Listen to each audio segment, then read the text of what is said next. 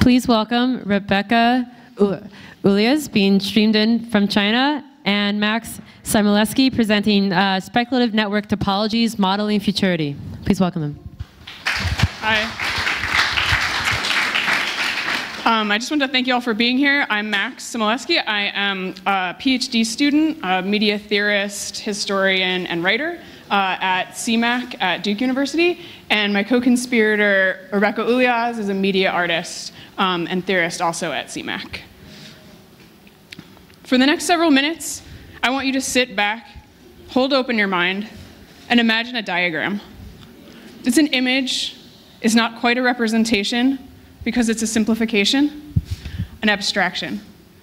This talk describes the topology of that diagram, that it is thus also a brief and speculative history of its mutations and a sketch of its enduring characteristics and critical resistances.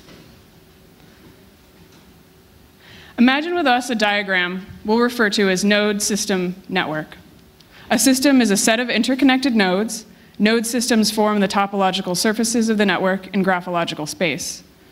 Their topology refers to the continuous relation of node and edge, whether in centralized, decentralized, or distributed forms. They're like a holy trinity node, system, network, mutually defining point, point, and edge. The blooming outward of a lattice work with regions of connective intensity, and with each node even, exists a cascading network of systems pulsing with vibratory force, even at the most minute level. Node system network reflexively reverberating with the shape of one another, but also representing different scales encapsulating one another. The jump between these scales is not unlike the fold in cybernetics from the second order to the third. The closed and observable by dynamic system, the object which then enfolds its observer, bringing the relational event of apprehension into the frame, making the environment itself a problem, and unmaking object and observer in the process still within the logic of node system network, which was a diagram and also a very specific way of seeing. Node system network will stand in here as just one diagram of our technological present, but perhaps the dominant one. In any event, one well attended to. What forces shape and rent the topology of this network graph imaginary? And what relation do these topologies have to the real? How is this diagram intersected with other diagrams and other persistent forms of sociality? relations of property, of labor, of bodies and things. We're interested in a particular moment in which the node system network diagram became both a base and a contested terrain for artists, activists, and radical technologists who saw human freedom in the possibility of hypersocial connection that it promised. They sought to recuperate its logics for other ends. And so we also reject the idealism behind the notion that because they lie outside of human perception, contemporary computationally inflected network logics exist somehow beyond human understanding. Remembering as well that questions of knowledge are also questions of power. The limits shaping our apprehension here are always only a problem of incommensurable temporalities or incommensurable scales. This diagram is not a map, but a flawed working model bridging this incommensurability. It is also a hypothesis about how a certain set of diagrams have historically intersected the known and inflected the knowable, and how this epistemological force comes to mediate the real via the senses through their organization, as well as through the organization and coordination of bodies and resources in space. The abstract diagram is still a real productive force. We wonder with Giuliana Bruno how, quote, the surfaces we call skin, fabric, canvas, wall, screen positively sh shape our culture, generating contact, connectivity, and communication. I'm quoting Bruno here at length. These are sites that are able to hold their structure, substantial forms of haptic material experience. Their superficial texture is touchable and therefore touching, and it can even convey material relations, creating forms of encounter. This tangible superficial contact, in fact, is what allows us to apprehend the objects and the spaces of art, turning contact into the communicative interface of a public intimacy. That's the end of that quote. We thus wonder, working from model to real and back again, both what this diagrammatics has produced and how it has been resisted through its very terms, and then how we might diagram differently. We'll start first with a little history. We're going to make a leap down in scale that is also a leap back in time. The analog of the node is the cell, the circle, the hearth, the dwelling, the walled city. also secretly the womb and the egg, but the diagram tends to hide the stains of its birth. In Foucault's version of the medieval city, there are two main problems posed historically subsequent to one another. First, the leper, the madman, the singular aberrant, and the solution to this problem is to exclude. Here we meet our first enduring characteristic of the node system network the cut. The city's walls perform this function of defining outside from inside, which cascades in turn into a series of other binary oppositions between the sane and the mad, the clean and the unclean, the ordered and the disordered, the rational and the irrational, the known and the unknown. I could go on. This primary dyad of in out intersecting with others, reproducing the violence of differentiation in myriad social, institutional, and physical forms. The other problem for the city is the plague, which is a problem not of exclusion, but of circulation, and a recognition as well that the one is also a many. The plague is about what cannot be excluded, what comes right inside, one way or another, and must be dealt with. Michael, Michel Serres was right to emphasize the transformational role of the pest through the metaphor of the rat, which carries the bacterium of the plague. The rat always gets in, and it must. It's about what's internal to the city, its organization, and the movement of knowledge and bodies within it. And so the problem of the plague is also a productive one, and one that is never really solved. The second enduring mode, which we will shorthand with the parasite, the virus. What could not be excluded is incorporated and made room for. The management of contagion and circulation became a new model of conscious governance of the body politic and the bodies within. It was an incorporation. The notion of the corporation should remind us that the concept of the body, of coordinated bodies, suffuses our language. The city node itself is a system of bodies, of nodes, those bodies, each containing systems of their own. This system of bodies intersects at points with other emerging and enduring diagrams, logics of coordination. The specter of capital emerges here with particular salience, as well as the psyche. The logic coordinates inward as well as outward.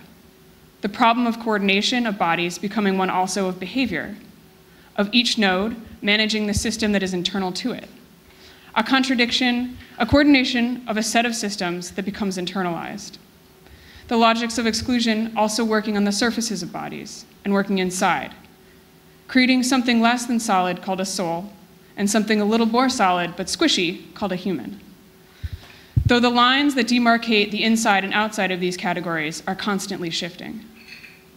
Coordination, then, but also pattern recognition and identification, separating kinds of bodies on an ever more molecular level, and systematically coordinating bodies into the service of larger systems of social organization. For this body must be trained, and here we point to the series of node system dyads the citizen and the nation, the psychic individual and the family unit, the worker and the factory, the consumer and the marketplace. The development of mass media networks of modernity multiplied these sites of training into ever more intimate domains. The diagram of node system network cannot be collapsed onto the social diagram or system of relations that is materialized and naturalized in capitalism. But we do want to note their enduring conjunction, and quite significantly in their conjunction in the production of self owning subjects. The notion of free will and the body it possesses, and the chain of possession that follows from it. The mind body dualism hewing again to the mode of exclusion or the cut. It is this very product, Homo economicus, the individual self made, that is undergoing a series of parasitic mutations in and through the notion of the post human and the globally networked society emerging in the second half of the past century. Katherine Hayles has referred to this as the moment when, quote, information lost its body into a version of the human that can be seamlessly articulated with intelligent machines. The operative mode of power is no longer enclosure, but modulation. Gilles Deleuze called it the shift from disciplinary societies to the societies of control.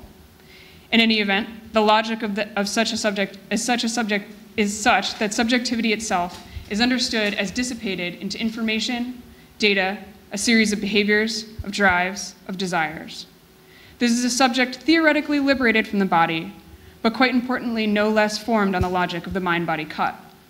And the more mediated, and all the more mediated through screen, language, and image. The body becomes a prosthesis for the informationally modulated subject. For some, the informational data attached to this prosthetic body and its images are now sites of creative potential, of entrepreneurial investment. For other bodies, these data are a death sentence. It is also right at this moment of the birth of the globally networked society in the post World War II period that a series of critical radical resistances, resistances sought to hijack network media infrastructures from their conjunction with capital and put new media to different ends. In Italy, the Autonomia movement sought to produce new forms of radical subjectivity through Radio Alice, a local citizen radio movement built through the appropriation of a range of signal frequency using a former military transmitter. The founders of Radio Alice would go on to create Orfeo TV and found the Telestreet movement, free television created from a similar notion of local autonomous broadcast. These localized forms provided radical alternatives to the kinds of subjective inculcation and education that its creators saw happening in the mainstream media. Imagine a riot on the streets of Bologna, the streets filled with the sounds of rock music broadcast from hundreds of personal radios. In the words of one of Radio Alice's founders, Giancarlo Ambrosio Vitale, they have built a huge machine of domination over the human mind. Someone may, must make available to all of the tiny vessels to escape in a thousand directions. It wasn't about resisting the media so much as turning its affordances to other ends, against itself, using its holes, working like a parasite, remolding the dominant and differentiating mode of the node system network diagram in the process. In the US at the time, a similar re-diagramming of the dominant network logics through media infrastructural through the media infrastructures was underway with the Ant Farm Collective. Originally trained as architects, the members of Ant Farm saw the radical potential in the Sony Portapak video camera and the mobility enabled by the Interstate Highway Network, another defense project. They wanted to set up way stations along the interstate for the production of a nationwide citizen video movement. They used their architectural skills to build the prototype of a media van to travel that highway, outfitted for the everyday individual to produce, edit, and locally broadcast their own networked content. They built the idea of an open source before we were speaking of source code, publishing maps, blueprints, and instructions through an ad hoc and, grass, ad hoc and grassroots publications like Radical Software. Again, it was not the media network itself, but the logics of the dominant network diagram that they sought to undo by putting production into the hands of the traditional consumer. These are two of just some of the very many critical projects that emerged at this moment when our media, when our media technological president was forming, when the topology of the diagram we're referring to mutated into its post-human form. Like the parasite, some of these modes of critical resistances to the dominant media paradigms through the medium themselves were recuperated again for other purposes. The citizen producer of media content became the you in YouTube and we're now all armed with an even more miniaturized version of the Sony Portapak in our pockets, with the potential for sharing content fully integrated into the handheld device. Moreover, the hypersociality imagined, imagined in these sharing networks of producer consumers has been subsumed into the network diagram at its intersection with capital, as media corporations have found a way to profit off the data mining of not primarily the content we produce, but the attention we give to it and the sociality that we generate by sharing it with each other. So, how do we speculate a future beyond the dominant diagram? And further, how do we think beyond its historically shifting topology of exclusion, parasitic resistance, and recuperation? We in this room tend to inhabit the parasitic spaces that exist underneath, alongside of, and against this dominant mode. But how does this node, edge node logic continue to shape the contours of our conception of what, other diagram, uh, what another diagram could look like? Our contention is that it may be through the reimagining of a network, not based on the logic of the node and edge, of individual and relation. We agree with Tiziana Terranova the form of the diagram itself, as it intersects with the historical formation of capitalism through the social network, both reproduces and naturalizes the economic logic of capitalism's version of social life, understood as, quote, the fabric of relations between networked and entrepreneurial selves. This produces an underlying and unquestioned diagram of the social as a variable network of nodes and edges. What would it mean to think outside of this basic node edge logic, replete as it is in our conceptual and material worlds? What would a diagram of the social network look like, based instead on blobs and flows, with fissures, rents, and holes? Instead of edges, would a relational model more like a Mobius strip do justice to the queer entanglements of physical and digital intimacy? How can our relational models more fully represent the myriad forms of connection and intimacy that animate our communities? What does it mean to think networked relations on a model of love and care rather than trust, security, or privacy? What if instead of a network envisioned in diagrammatics, we could imagine a network built on poetics? We started this imaginary by historicizing the node edge as a diagrammatic form in order to denaturalize it. And we hope to have, in the meantime, opened our minds to the radical potential of imagining otherwise. Thank you.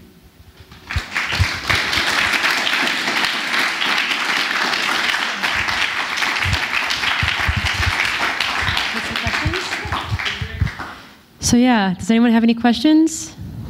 There's maybe a lot to unpack, but or comments? Okay.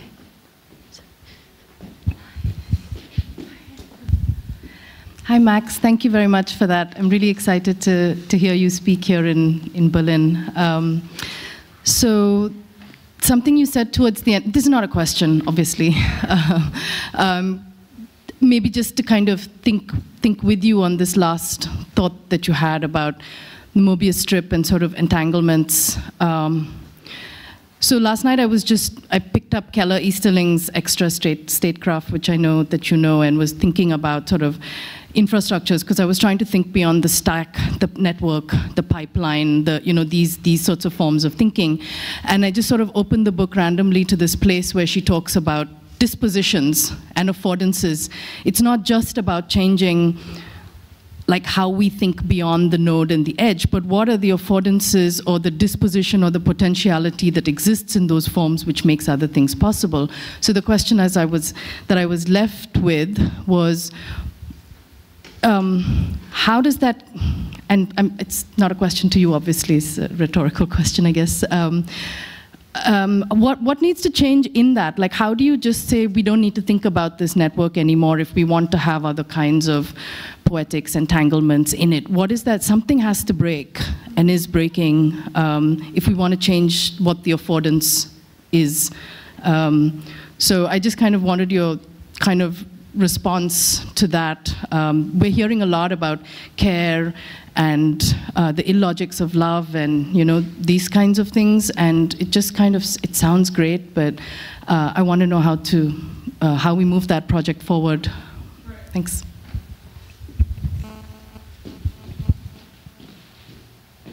Um, I think that's a really interesting question. So this this talk and this this piece is is sort of a work in progress. We're hoping to kind of build it up by by working from an actual image database um, that we build rather than that that we can then live edit um, as we work with it. But um, part of where we started thinking from was the visual centric model of the diagram like and and its preponderance in western culture of the visual centric and and even in our imagining of the internet i mean it's all vision, right? The primary mode of human sensory, like the first sense that you get is not vision, it's touch. It's in the womb. You have that sense first. You don't develop vision until like a few weeks into your being alive, right? So the first thing you have is actually touch. But the visual centric is so connected to our idea of like what an individual is um, and like the diagramming of space, right?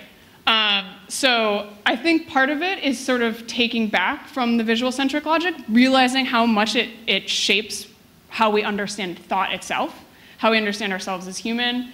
Um, and so that's kind of, I mean, that would be like sort of my first kind of push at that would be to say, I mean, even in Keller, Keller Easterling's work, of course, is about infrastructure. So like diagramming and looking at visual models is really important for, for Keller's work. But I think that um, I think that my, one of my first steps would be a, like as an artist and thinking from like a like a writing and poetic perspective is to sort of push against the visual centric. I think someone earlier today mentioned that um, when we were talking about radio signals, mentioned that uh, the amazing thing about sound is that it's actually a touch sense as well, um, and that is a primary sense. And that, so that's that's another way of, of kind of thinking too, like like uh, a radio signal is just like existing in the airwaves, and a lot of what we're working with is actually like touchable. It's here. It's with us, right?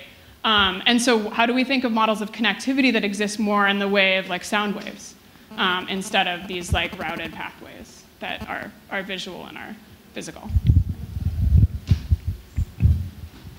Oops. Any other questions or comments?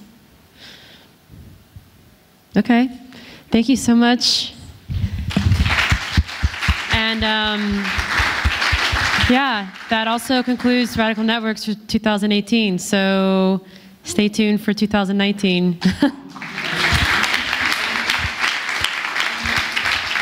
and um, just once again, would like to thank Spectrum. Um, would like would like to thank um, Ryan Taylor of Fighting the Internet while we try to do our live stream. Um, we, we will, um, even for the talks where the internet kind of um, got in the way of the live stream, we, we, we have been recording all the talks, so they will end up, they will, they will all end up online at one point. Um, and as well, I want to thank all of our volunteers um, who we could not do this without. And once again, all the participants, artists, uh, performers, everyone for just coming uh, to share their work with us and to, to make the journey here for those that came from outside of Berlin. Thank you all so much for coming because, um, I mean, we like set up the framework, but you come in and give us all of the information and the energy and the joy. So thank you so much to all of you. And, um, and yeah, and we'll see you next year. Thank you.